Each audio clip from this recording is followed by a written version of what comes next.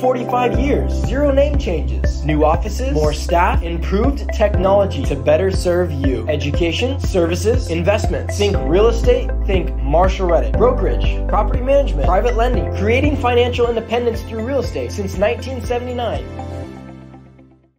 Good evening, Marshall Reddick investors. Welcome to tonight's presentation on estate planning. This is a topic that many of you have asked for, and I know you're going to get a lot of value out of tonight's presentation. But before we get started, I'd like to take a moment and talk a little bit about Marshall Reddick Real Estate and the ways we are different from a traditional brokerage, and also the ways we like to help our investors with all things real estate related. Marshall Reddick uh, was founded in 1979, and unlike a traditional brokerage, where uh, we help our clients buy and sell real estate, we also help our clients uh, with investment properties across the country in our vetted markets. Most of our clients own rental properties under their portfolio. Our next division is property management. Now, there's no point in owning a great investment property if you don't have great property management to oversee your investment. Marshall Reddick has boots on the ground with management 24 7 service in our vetted markets. We also have a private lending division. And what does that mean? So let's say you want to invest in real estate, but you don't want to own the physical property. Well, you can be the bank. In other words, you can find one of our fully underwritten loans from anywhere from three months to 30 years, depending on the note. You can collect the mortgage payment and be the banker. This is a great way to invest in real estate without actually owning the asset. And under our private financing umbrella, you can also be a borrower. We qualify borrowers based on property. And this is great if you only want to do a fix and flip or investment transaction and don't want to go through the hassle of conventional lending processes. And last but not least, we have the Marshall Reddick Mortgage Fund. It's an investment fund that is designed for investors to pull their resources together or a portion of the notes on many different properties. This is a great vehicle for investors who don't want to take the time to pick and choose their own private mortgage mortgages to fund. I also wanted to just take a quick moment and tell you a little bit about myself. For those who don't already know me, my name is Cherie. I've been a licensed real estate broker for over 20 years.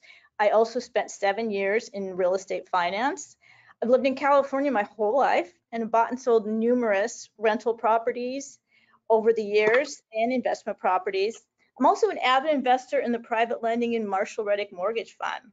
So real estate's really always been my passion. I purchased my first uh, home at the age of 20, and now I really truly enjoy helping my clients navigate through their investment journey, both primary and investment property.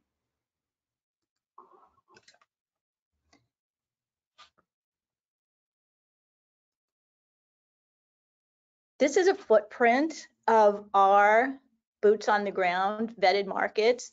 Gives you a little bit of an idea how far of a reach we have with our investors. This is a little sampling of our team in multiple states. And I would also like to now take uh, the chance to introduce our keynote speaker tonight, Tiffany Chiu. She's been practicing law for 16 years. She is a Marshall Reddick preferred partner. We do a lot with Tiffany, and I know she's going to give you lots of valuable in information tonight. And I am very happy to turn the screen over to Tiffany. Thank you so much, Cherie. Um, again, my name is Tiffany. I'm so pleased to be here with um, all of you. Thank you so much for joining us. And today I'm talking about what I basically do day in and day out. I do a lot of estate planning, and I've been doing that for uh, for about 16 years. Um, a little bit about myself. I myself have a family of five. I have three kids. I've been married for 22 years. I have three kids. My oldest is now 15. I have an 11 year old, and my youngest is almost eight. And um, I love doing this with other families, and I just wanted to present my family myself because I have context um, to what we're doing um, when we do an estate plan. And a lot of the thoughts that my clients come in with are things that I've thought about with my own family and um, experiences that I've had myself and um, concerns that I want to make sure that I address with my clients, I think about with my own family as well. Um, like Cherie said, I have, have been practicing law for about 16 years now, and before I did estate planning, I was a tax and joint ventures associate in a national law firm. I worked out of Irvine here, and I still keep in touch with a lot of my colleagues, um, and did actually have done a lot of their estate plans as well. Um, it's been really helpful to have this tax background. When I had transitioned to estate planning, there are lots of tax issues that we address when uh, we talk about your estate plan, income taxes, property taxes, estate taxes, and having that tax background is really helpful. Um, and in 2010, I started my own firm, and after working in my own firm or doing or practicing on my own for 13 years, I joined my team at Modern Wealth Law. Right now we have six people. Unfortunately, we don't have an updated team picture of all six of us, but we do have two attorneys, myself and my partner John, and we have two of our paralegals. They're pictured at April and Jenna, and we also have two more admins that help us out. Um, and we just we love our team, and they are just excellent in terms of what their um, their means of serving our clients. Um, we all just have uh, a passion for what we do. see. In our firm at Modern Wealth Law, we practice estate planning, we do asset protection. We have a lot of clients who have properties um, like yourself, we create LLCs. We talk about Wyoming LLCs versus California LLCs. We talk about land trusts with our clients to maintain privacy for your properties so that people can't do a search for your name and find the properties that you own. Uh, we also do trust and probate administration, which I think is incredibly helpful on the estate planning side of things. We know how what happens to our trusts after someone passes away we carry out the terms of those trusts. And if people don't have a trust, we also do the probate administration, which is also helpful to give some context as to what we're trying to avoid when we create your estate plan for you. Uh, we think, I think uh, our firm is particularly, it stands out. Uh, we have a certified specialist in estate planning and what that means is that we take a test, um, a day-long test to have this certification um, granted by the state bar uh, just further um, affirms our expertise in this particular area of the law. Well, I'm going to start my presentation uh, and with uh, this quote by Judge Van Dyke. Um, it really captures what we're trying to do when we do your estate plan and what rights that we are trying to further um, when we help you create your plan to dispose of your assets in accordance to your wishes. The right to dispose of property and contemplation of death is as old as the right to acquire and possess property, and the laws of all civilized countries recognize and protect this right, including um, the laws of the United States. And so that's what we're trying to do is help you carry out your wishes um, and make sure that your assets are disposed of in, in accordance those wishes. All these assets that you've accumulated and worked so hard for during your lifetime should go to the people that you want to go to without the complications of probate and the expenses of probate. Uh, without all the litigation, if we clearly have this estate plan laid out, um, hopefully we are discouraging anyone from um, contesting the terms of it so that all of your assets go to those that you wish um, to benefit from them. I usually like to start what we call our design meetings um, with a framework of what your estate plan does for you. So in our firm, we, how we start our process, people give us a call and we uh, talk to our potential clients. And if they wanted to move forward with us, we schedule this design meeting. And before the design meeting, we ask our clients to fill out an intake form where um, I can look at it before our meeting and um, address any or write down any issues that I want to address with my clients. But before we get into their particular estate plan, what I like to do is give my clients a framework of how to think of their assets. And so what we start off with is this presentation. And so what we're doing when we come into our design meeting is creating your estate plan. And during your lifetime, we're pretty familiar with how you manage your assets. If you are the owner of a particular home or an account, then you are the only one who gets to manage it. So if the statement only says your name, Tiffany Chiu, on the statement, or if the deed of my home only says Tiffany Chiu, then I'm the only one who gets to manage it. If my husband of 22 years tries to call Bank of America and say, hey, that account that's only in my wife's name, I need to take some money out of it. Bank of America will say, I'm sorry, you're not authorized. Um, Tiffany's the only owner on the account. And even though you've been married for so long, um, this is not an account that you can manage. So we're familiar with um, us as the owners are the only ones who can manage a particular asset. And when people come into our office and to do, to do their design meeting, what they're thinking about is what happens to our assets upon our death. Oftentimes, my clients have heard of probate. And what probate is, is a process, it's a court supervised process where after someone passes away, uh, if I were to pass away and I had assets like a bank account and a home in my name still, it doesn't automatically transfer to living people. And just because I passed away, it doesn't magically transfer to my husband or to my kids. In order to get those assets transferred to beneficiaries or heirs, it has to go through a probate process.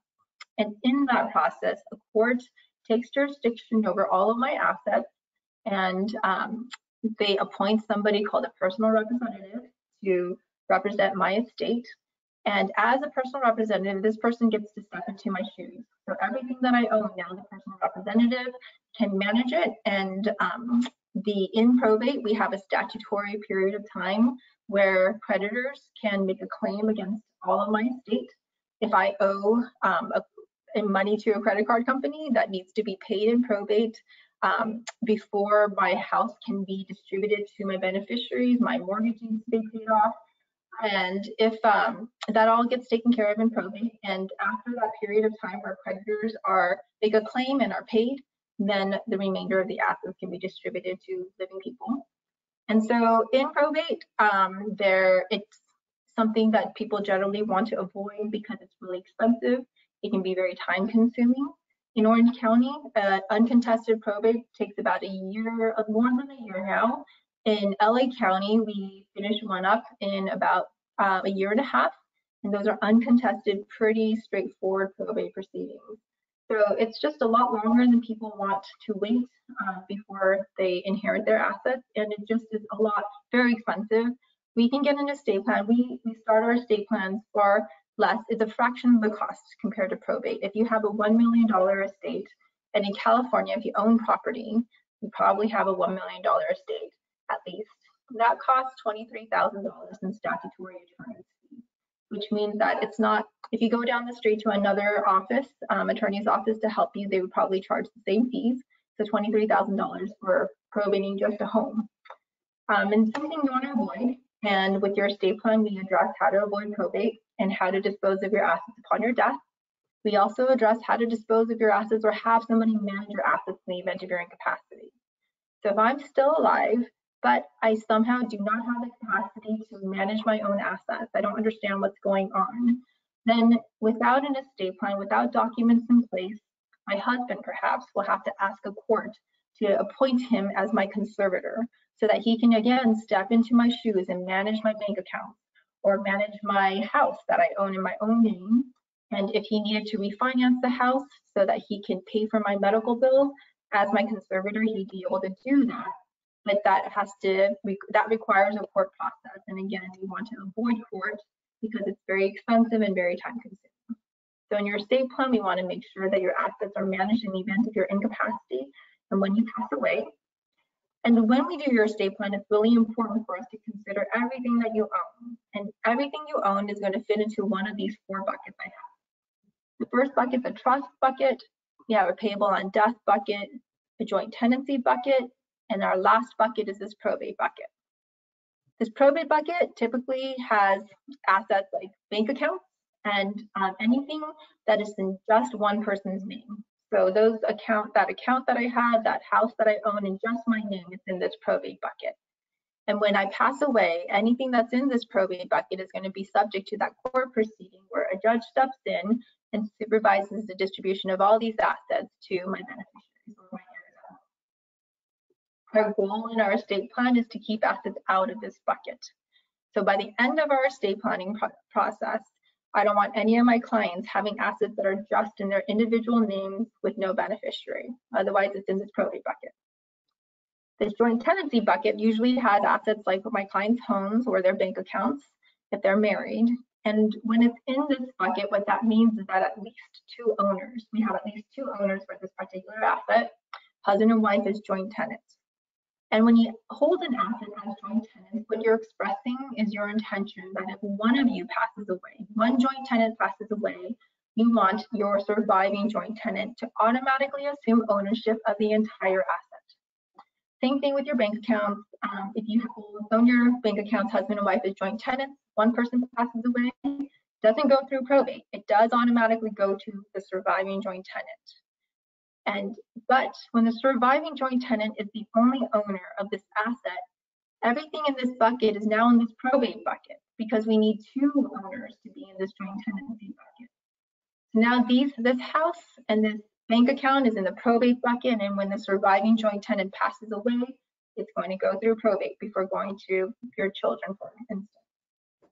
So our goal in our estate plan generally is to leave assets out of this bucket as well. And instead what we want to do is transfer all the assets that we put into either the joint tenancy bucket or the probate bucket. We want all those assets to go into this trust bucket. And when assets are titled in the trust, instead of this home being owned by Tiffany Chiu, it's owned as Tiffany Chiu, trustee of the Tiffany Chiu Trust. And we, our firm, provides or uh, drafts a deed to transfer your home into the trust so that we can make sure that these this your biggest asset is going to be in this trust. And when it is titled in that way, then it's subject to the terms of the first document we draft for you, this living trust. So this trust starts off by saying that while I'm alive, I get to do whatever I want with the assets that I put into this trust. If I want to take money out of my bank account and go on a vacation, I can do that. If I want to sell my home, I can do that. I can also make additions to this trust. If I buy another piece of property, I can title it as Tiffany Chiu, trustee of the Tiffany Chiu Trust, and now it's in this bucket as well. This trust, though, what it does say also is if I'm ever incapacitated, I trust my spouse, Randy Chiu, to be able to step into my shoes and manage everything that I put into this trust. And so instead of having to go to court to be appointed the conservator, he is going to be my successor trustee.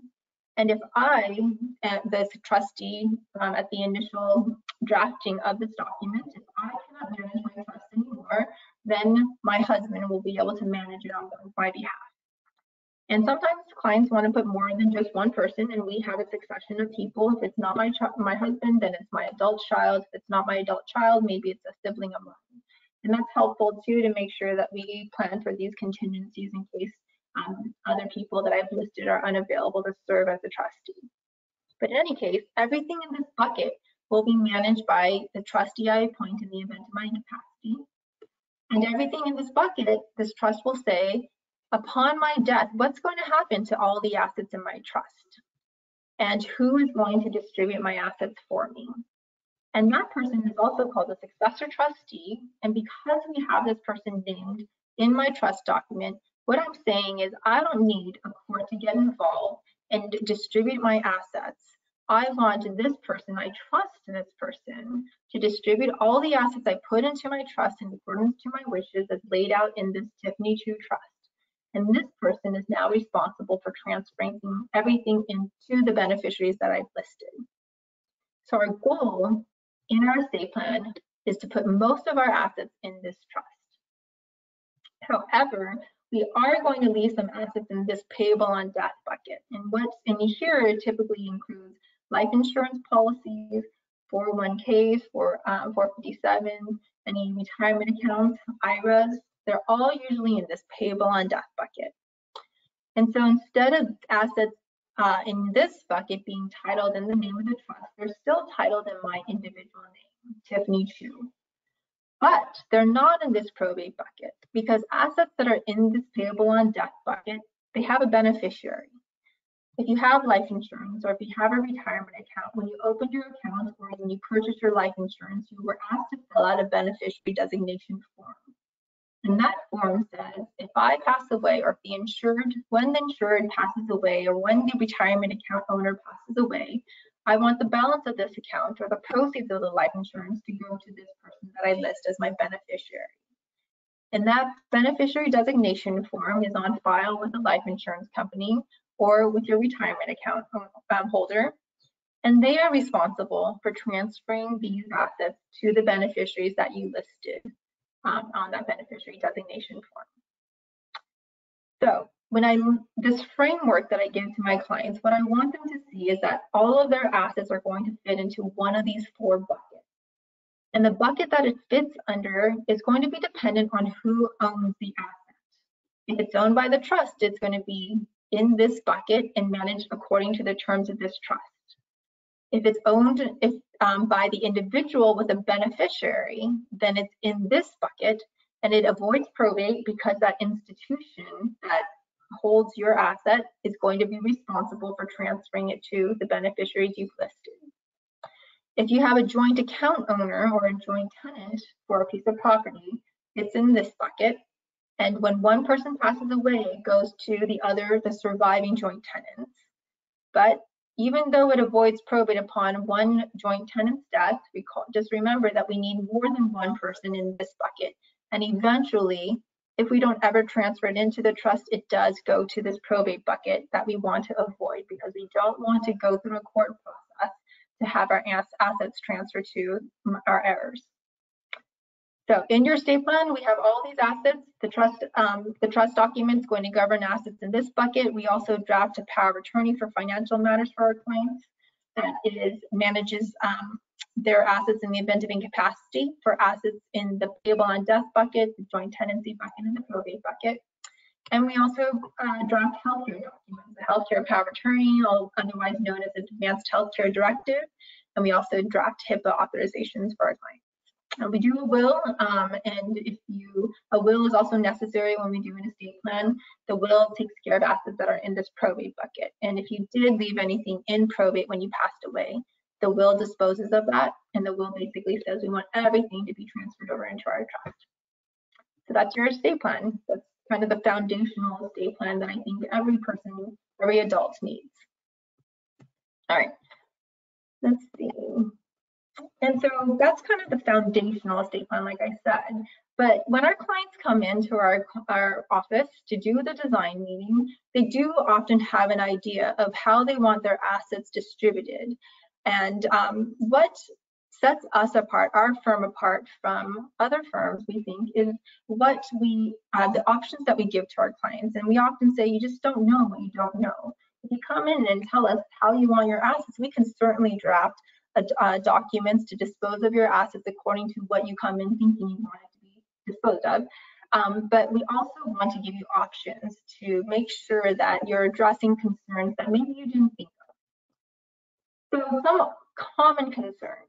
Um, oftentimes people come into our, our office and said, they say after we, uh, usually if it's a couple, they think, okay, well, after we both pass away, we want all of the assets remaining in our trust or all of the assets that we own when we pass away, we want it to be divided equally among our children. And this is one of the first points we address. Do we think that equal is necessarily fair? So let me illustrate. We'll start with the Doe Family Trust. John Doe and Jane Doe come into our office and they create the Doe Family Trust. And they say after we pass away, we want everything in the Doe family trust to be distributed equally to Janie Doe and Johnny Doe. And once we pass away again, equally Johnny and Janie Doe. So if something happens to Johnny, uh, John and Jane, the parents, then what that means is everything left in the Doe family trust is going to be immediately divided into two different shares, one share for jo Janie and one share for Johnny. But what if Johnny has a medical condition and his share is then depleted, paying for all his medical bills, all his medication? What if Janie got into an Ivy League, a private college, but she thinks, oh, I don't want to go to Harvard because it's going to deplete my entire inheritance from my parents? Do you want her decision to go to a really good school to be affected by the fact that it might deplete her entire inheritance. Is that what you wanted? And so what we suggest to our clients is perhaps instead of dividing it equally right when you pass away, if anything should happen when the kids are still young, maybe we should keep all the assets in the Doe family trust. And we'll keep it in one pot for the benefit of both Janie and Johnny, so that if Johnny needs to pay for his medication, we're going to take it from the family pot. If Janie decides to go to an expensive private institution, then we're going to take it from the family pot. It usually mimics the way that our families want to spend their money on their kids um, if they were still alive. And at some point, though, Johnny and Janie want to deal with their own money. So we say when the youngest child reaches a certain age, maybe 22 or 23, an age that we often think of as having graduated from undergrad. Then we're going to divide these assets into as many shares as we have children. So two shares here. And at that point, Janie gets her share and Johnny gets his share. And so what we mean by this is equally doesn't, in equal division, right when the parents pass away, isn't necessarily what our clients want. And what we explain to them is perhaps you want to keep everything in a pot for the benefit of our, our both of your children or all of your children until they reach a certain age, at which point then we'll divide the pot and distribute the remaining assets to the kids. So that's one thing that we try to talk to our clients about, and oftentimes they agree. We do want to treat our trust and we want to treat our family, even if we're not here, we want to treat it as though we were here and we are paying for everything from this one family pot.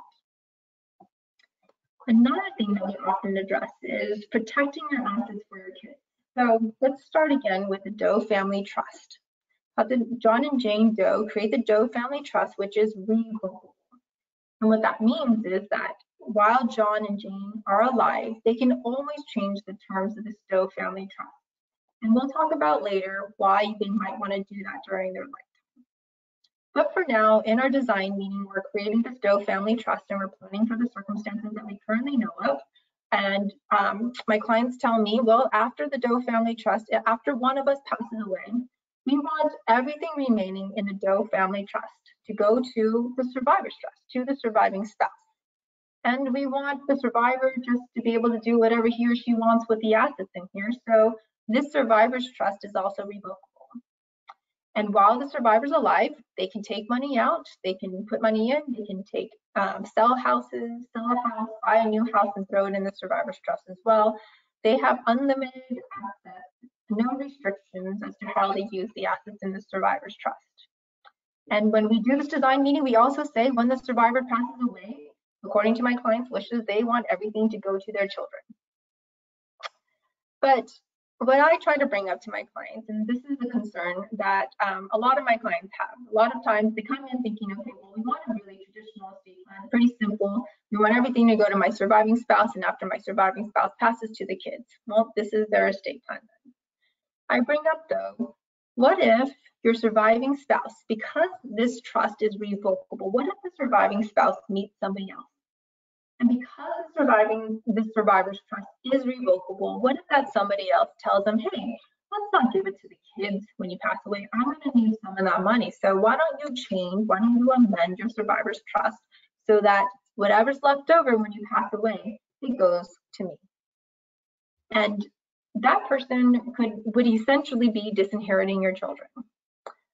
Um, sometimes, you know, maybe they're not, you know, people say, well, I trust my my spouse. They're of course going to take care of their kids, our kids. And I often say that's definitely true. You know, I, I agree. I trust my spouse too. He wants to take care of our kids as well. Um, but we don't know what who your spouse might meet after. And it may not even be a new spouse. It may not even be a new significant other. Maybe it's just someone who's looking out to abuse elders. And this, unfortunately, we've seen a lot in our practice, where we've seen older people being taken advantage of and having um, people in their life come into their life and having them change their trust. Um, and so if you want to protect your portion of the assets from these kind of elder abusers or anyone that your surviving spouse might meet after you pass, you want to protect your portion of the assets um, for your kids then what we suggest is instead of everything going after, instead of drafting the Doe family trust to say that all the assets go to the survivor's trust when one spouse passes, maybe we'll split the assets of the Doe family trust into two trusts, the survivor's trust and the decedent's trust. So this Doe family trust consists of assets that belong both to, um, to both spouses, let's say a husband and a wife. And if you're in California, if you've acquired these assets in the Doe Family Trust while you're married, then all the assets are considered community property assets, which means 50% of the assets in the Doe Family Trust belong to the husband and 50% of the assets in the Doe Family Trust belong to the wife. And when we say one person passes away, what happens to these assets? The survivor's portion, let's say the survivor's the wife, that 50% goes to the survivor's trust. But if the husband passes away and wants his portion to be going into a decedent's trust, then that 50% goes into this trust. And this decedent's trust is irrevocable, which means the survivor cannot change the terms of this decedent's trust while he or she is alive. But the survivor, we can write the decedent's trust to say that the survivor can benefit survivor's trust. He or she is the beneficiary of the survivor's trust. The survivor can even be the trustee of the decedent's trust. But what the survivor cannot do is change the terms of the decedent's trust. And when we write this trust, it says after the survivor passes away, everything left over is going to go to the kids. And the survivor can't change that. So if you're interested in making sure that your portion of the assets in the Doe Family Trust goes to your intended beneficiaries, then this is something that you might want to consider instead of having everything go to your surviving spouse. So this is an option. Um, another common thing that we encounter is our clients wanting to protect their children's inheritance. So in this situation, when I see old trusts, it often says, to Janie Doe or to my child after my husband, after both spouses pass away, we want all of our assets left over to go to our children outright and free of trust, which means after John Doe and Jane Doe pass away, all million dollars left in the Doe family trust is going to be written out. There's going to be a check that's going to be written out to Janie Doe, which means Janie takes this check and she deposits it into an account. And if she if she's married, she probably she might deposit it into an account with her charming husband. And she'll and what we call we call this commingling. This check that she received as her inheritance is actually her separate property. But she's been married for a while, so she says, I'm going to deposit it into this joint account just not to make anything messy. I don't want to manage a different account.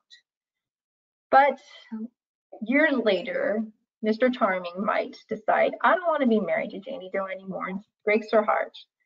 And he says, well, that account that we have all of your all of our money and including the money that your parents gave you, all of that's community property because whatever your parents gave you, if you guys are familiar with separate property, it's generally separate property, which means that assets that you acquire during your marriage from your family as a gift or an inheritance, that's considered completely yours. But if you commingled it and put it into an account, Mr. Charming is going to say, we've already used your parents' inheritance. We, you know, we made, we uh, made those improvements on our house years ago. So what's left over in that account is community property. 50% is mine and 50% is yours. And if you do leave your assets outright and free of trust to your children in your trust, then this is a potential scenario. Another scenario that people are concerned about is, well, what if Janie gets into a car accident and that person decides to sue Janie?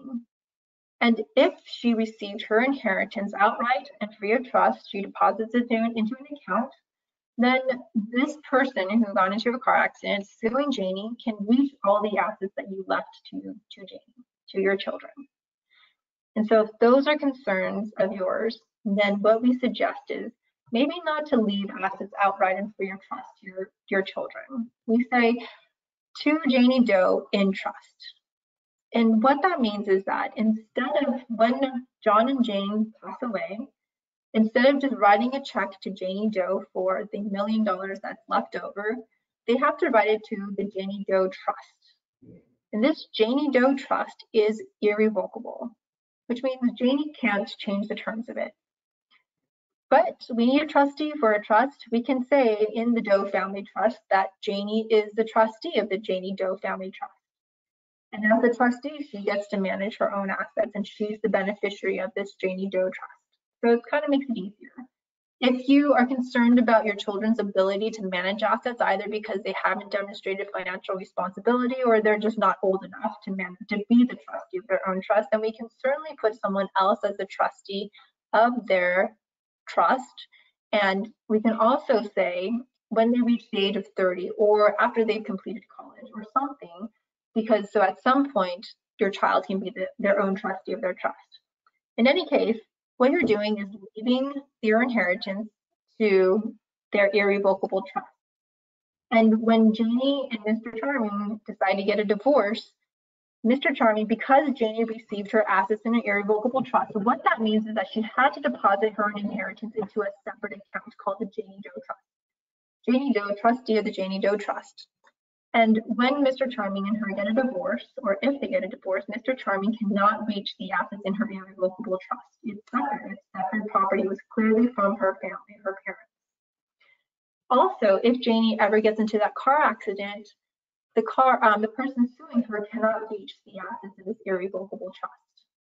Because assets in an irrevocable trust are not considered that person's beneficiary. It's not going to be considered Doe because with an irrevocable trust, what that means is that you cannot change the terms of it anymore. And creditors can only reach assets that are considered yours, considered um, assets that you have full control over. And since you cannot change the terms of an irrevocable trust, they're not considered yours anymore, and um, anything in that irrevocable trust cannot be reached by creditors. So this often is a great opportunity for um, clients to protect their children's inheritances from divorcing spouses and creditors. Um, on the plus side, if something positive happens, what if Janie Doe does incredibly well in her life? She um, makes a lot of money and uh, she now has something called an estate tax issue, which means she passes away with more money than the estate tax exemption. And now she owes a tax of anything over the estate tax exemption, which currently under current law is $13.61 billion. Um, anything, if she passes away with anything over $13.61 million, taxed at a 40% tax rate. But if you create this irrevocable trust for Janie, then everything that you left to Janie is not counted towards, towards her estate and will not be subject to estate taxes. So that's another benefit of one of these irrevocable trusts oftentimes, um, again, you don't know what you don't know. So if you come into our office saying, hey, we just want our client, we do want our, our kids to get it, um, get their uh, their inheritance equal, equally after we both pass away, we present the pot trust option. Um, we present this this trust option, this irrevocable trust option, um, to just let you guys know that these are options that are available to our clients, and you can certainly add those to your trust because again, back to that um, quote in the beginning, you are in control. You that right to dispose of your property however you wish is something that you can do in your living trust. Okay. When should I update my estate plan? And oftentimes um, there are going to be lots of life circumstances to change. Good thing your Doe family trust, the family trust that you create is a revocable trust. And we do have certain changes in your life and certain changes in the stages of your life that we advise our clients to take another look at their estate plan.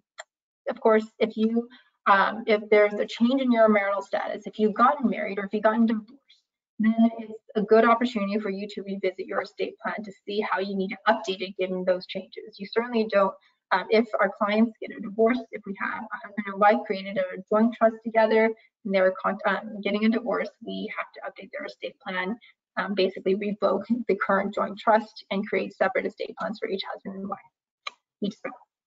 Um, if your children are getting married, then perhaps that urgency of protecting your kids' inheritances from their divorcing spouse is something that has now become more urgent, and you want to include those irrevocable trusts in your trust. Um, that's something that you might want to take into consideration um, if that is a circumstance that's changed in your life. If you're a young family and you've had additions to your family, you've added more children, or if you have more grandchildren, you might want to change your estate plan to revisit that to see whether or not you want to um, leave some assets to those children or grandchildren. Um, perhaps if you have more children, the guardians that you previously chose in your estate plan are not going to be able to handle more children. So maybe you want to update your guardians um, to people that you think could manage more all of your children in the event of incapacity or death, you might also want to um, take a look at your estate plan. Of course, not necessarily your death, but if someone you've listed as a trustee, for instance, of your estate plan, or even as a beneficiary in your estate plan passed away or is incapacitated, you might want to revisit your estate plan. You certainly don't want to leave assets to an incapacitated person, um, someone who might be dependent on government benefits, um, if you leave assets to someone like that outright, then you might disqualify them from their government benefits, which is definitely not something that's going to benefit or be helpful to them. So if any of your beneficiaries um, all of a sudden become um, disabled, and are dependent on government benefits, you want to revisit your estate plan. If any of your trustees, the people you chose as successor trustees in your estate plan have passed, or you no longer have that same relationship with them, then you might you also would want to take a look at your estate plan to update those trustees. Um, other changes in your life, if you acquired a business, if you started a business, then you definitely want to make sure that you take that business into consideration for your estate plan. During COVID, this uh, this unfortunately happened a few times where um, some of my clients came um, after their spouse passed away and their spouse owned a business and that business was never transferred into the trust. That became very complicated. We had to probate that business um, we needed to appoint somebody to be able to manage the account that was titled in that business. So if you acquire a business, um, then you want to revisit your estate plan to make sure that it's consistent with your estate plan and that's not subject to probate. If you're selling an interest in a business as well, you want to update your documents to avoid confusion. I recently had a matter where um, a client has a property in a business, um, but he also has legitimate businesses in his business and he wants to leave that property to his child, but the businesses to his um, spouse. And um, that would be very confusing. So we needed to update his documents to make sure that his wishes were clear. Uh, let's see. Changes in your net worth would also warrant uh, another look at your estate plan. Um, if you anticipate an inheritance, there's a lot of planning that you can do before you inherit money um, to make sure that it's consistent with your plans. For instance, if you already have an estate tax issue, and what that means is that your net worth is currently going to exceed the estate tax exemption so that when you pass away, your estate is subject to estate taxes. And again, the current estate tax exemption is $13.61 million, and that's per person, which means a couple has about $27.2 million that they can pass to their children estate tax free. If you exceed that exemption, then and you are anticipating an inheritance that's going to carry you above, uh, even further above that exemption, then there's some planning that we can do before you receive that inheritance. Of course, if you actually did receive that inheritance and then you come to my office, we can talk about some planning that we can do to minimize your estate taxes. Maybe we'll create some gift trusts for your children or your grandchildren to minimize your estate to lower the state tax exposure for the assets that are in your estate. Um, you might want to change um, your estate plan as your net worth increases because what you're leaving to your children is just too much for them to, to manage. Maybe you want to consider professional fiduciary, maybe you want to consider other people, maybe co-trustees in your estate plan to help your children manage that amount of money. Maybe you want to set some parameters um, for how they can make these distributions from these trusts that you created from them for them in your estate plan. And again, you might want to take another look at your estate plan as your net worth um, bumps up against that estate tax exemption. Again, the estate tax exemption is currently at $13.61 million, and we'll kind of briefly touch upon it later. That estate tax exemption is scheduled to sunset to about $7 million in 2026. So um, if you have estate tax issues, um, then that's another reason to, to take another look at your estate plan. Um, another other reasons are acquiring new assets, like I said, business or uh, businesses or disposed of old assets to avoid confusion. So you want to update some of those dispositive provisions. Let's say um, husband and wife, um, they have grown children and they decided that they wanted to help one of their children buy a piece of property. And they titled that piece of property in their trust, but they intend for that piece of property to go to that child they bought it for. Then you're going to want to update your trust to make sure it says this piece of property that we just bought located in Irvine, California, this one upon our death goes to child A.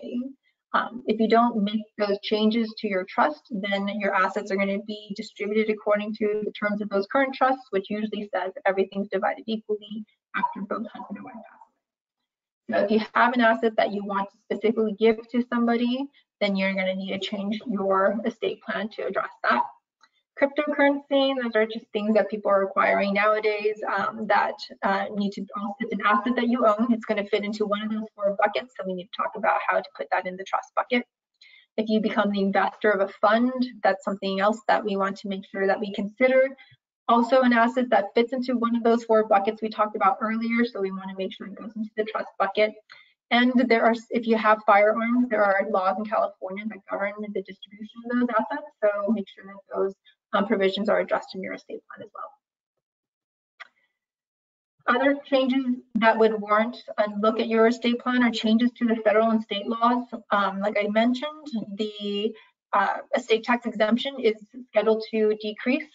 Um, that was actually increased by the Tax Cuts and Jobs Act that went into effect January 1st, 2018.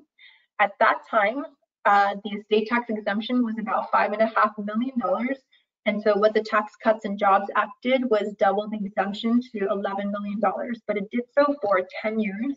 Um, well, it has 10 year period of time, and that from the effective date to the um, sunset time, it will be increased for inflation. So it started off at about $11 million and again, 13.61 million now.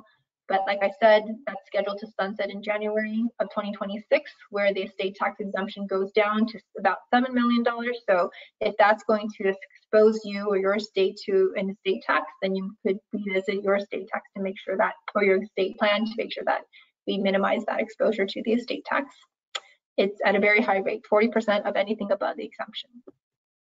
Another change, recent major change to California law was Proposition 19. Before Proposition 19, we had Proposition 13 that said that we have limitations of how our um, property taxes will increase every year. Instead of increasing based on the fair market value of your um, property that year, it increases incrementally. It has a cap as to how much you can increase. What Proposition 19 did was severely limit um, the, the property tax exclusion for um, parent to child transfers. Before we had Prop 58 that said uh, any transfer from a parent to child will be excluded from reassessment. So when I pass away and I leave my, my children my property, they take my property with my assessed value and pay whatever I was paying for property taxes. So there was a, an exclusion from reassessment for that transfer to my children. But what Prop 19 did was say that exclusion applies in very limited circumstances. First, this property has to be my primary residence. And second, my child has to use it for his or her primary residence for the exclusion to apply. Not only that, if I did leave this property and it already is my primary residence and my child's primary residence, the exclusion is only up to a million dollars. So if I bought the property for $500,000 and its assessed value at the time of my death was $750,000. But now I've transferred to my child and it's worth $3 million. Then the exclusion only applies from 750, my assessed value, to 1.75, the $1 million exclusion. And so anything above 1.75 million to $3 million, that 1.25 is going to be added to my assessed value of 750 so that my child's property tax assessed value is going to be $2 million. So Prop 19 severely changed and limited um, the exclusions that apply when properties are transferred to our children. And so um, that definitely is going to change the way that people want to dispose of their assets. Um, and it's something that you uh, warrants another to look at your estate plan. Um, by the way, I always want to mention to my clients that if you do intend to move out of state or if you do move out of state, you definitely want an attorney in that state to take a look at your estate plan, um, make sure that it's still consistent with that state's laws. Every state is going to be different and according um, because we all have a different probate code that governs these trusts. Um, we, for instance, California is one of nine community property states and my trusts always refer to assets as community property, separate property, that's not going to make sense in common law states and non-community property states. So definitely want to revisit your estate plan if you move out of state. Outdated plans, um, some issues that arise out of outdated plans. We have often had these do-it-yourself plans. I had a call the other day with a brother and sister. Sister was very concerned about their dad who owns property in Irvine in his own name, but he is in the Philippines. And in the background, I hear the brother say, why do you need an attorney to take care of this? We can just do this on LegalZoom. So I start asking some questions. I asked, well, if your dad's in the Philippines, is he a, a US citizen? The answer was no. Um, the, the brother says, well, why don't we just add ourselves to the house so that we're joint tenants with dad and when he passes away, it automatically goes to us. Um, I hear that and I automatically say, well, you're telling me that your dad's not a citizen, you're thinking about adding yourselves as joint tenants. So now you've touched on the estate tax, you've touched on the property tax and income taxes, any of which would have been completely eradicated or you wouldn't have been, it wouldn't have been an issue if you just created a trust and visited an attorney.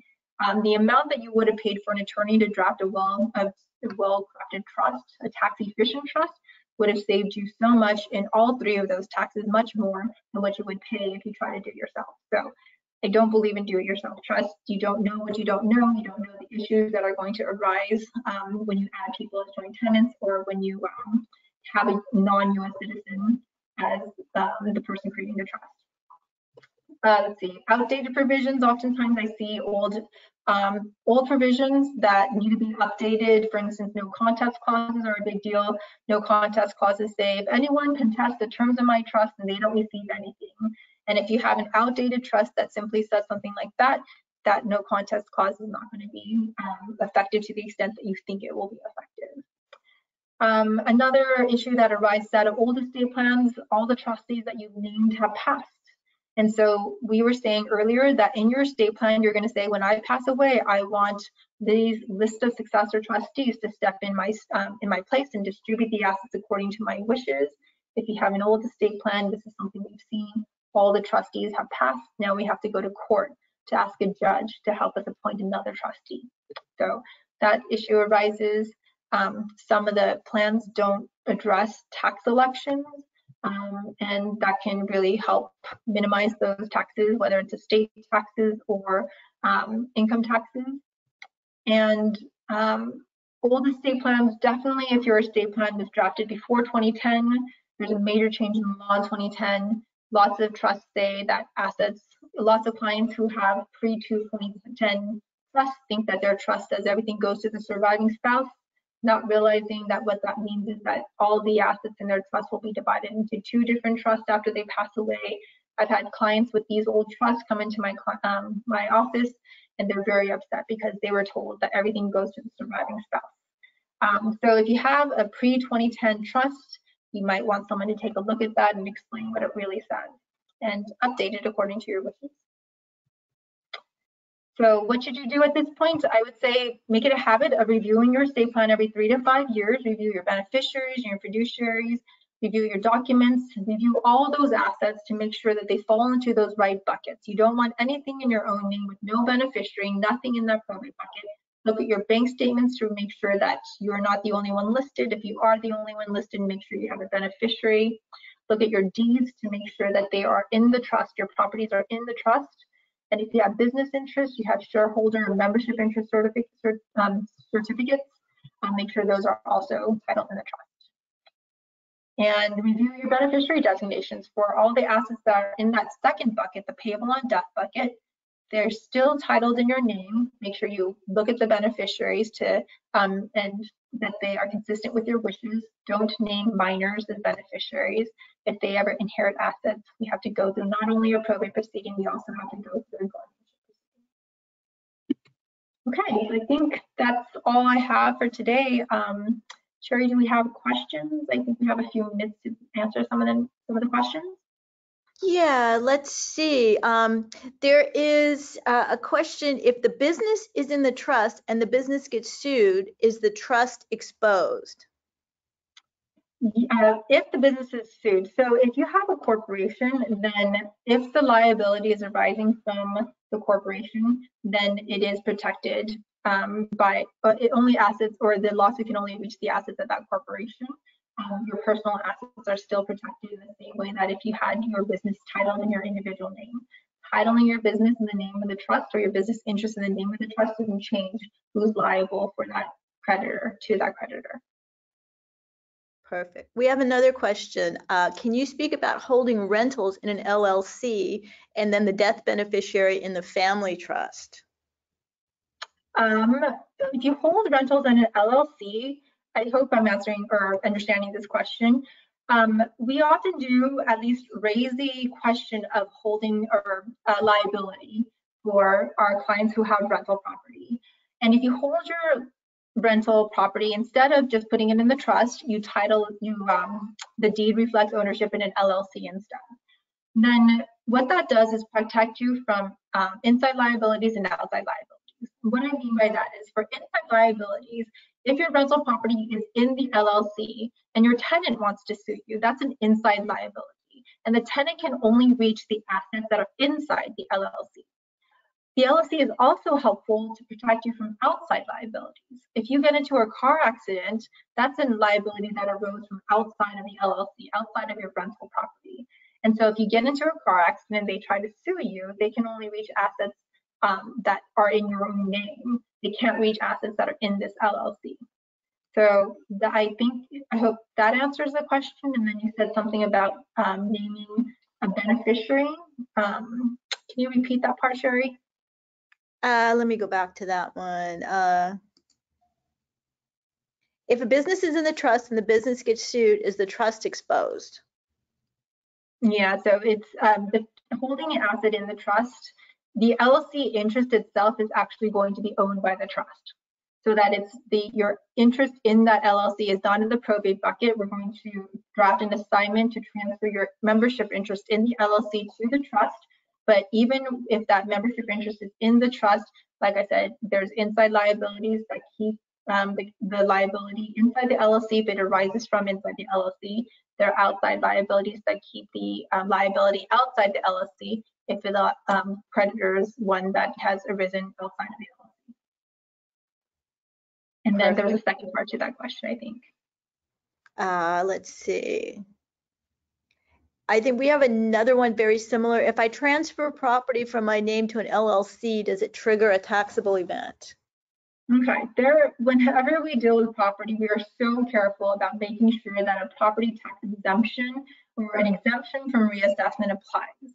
And the exemption for a reassessment that we're looking to um, apply in when we transfer properties into an LLC is the proportionate interest exemption.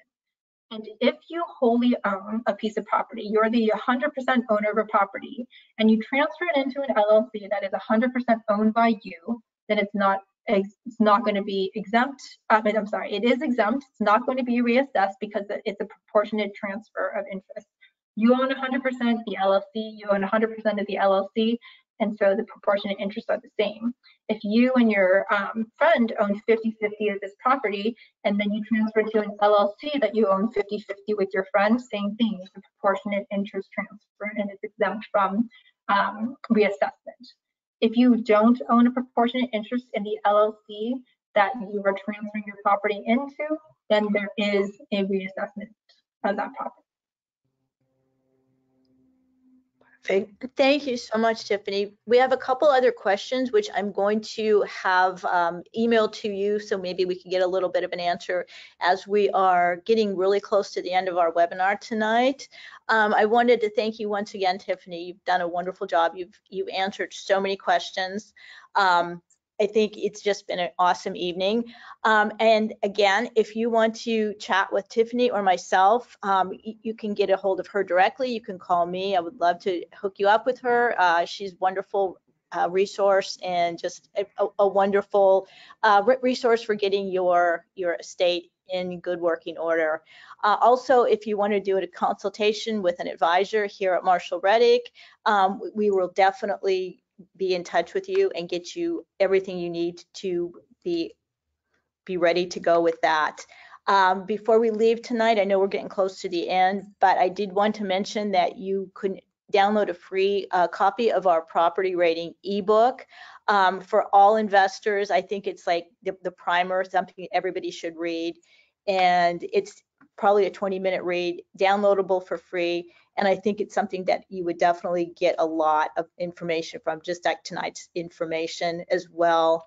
Um, and we also, once this has uh, ended tonight, we will also be able to get a copy of it on our website as well as other information, other education. We have webinars that are uh, on our website, all different topics. You can download a, uh, a, a login password and become a member for free.